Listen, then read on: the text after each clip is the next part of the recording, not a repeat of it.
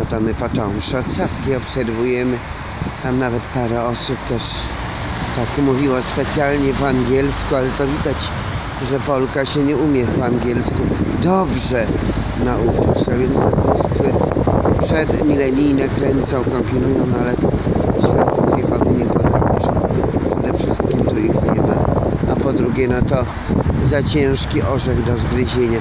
No to cóż, most Poniatowskiego, Warszawa, zapraszam.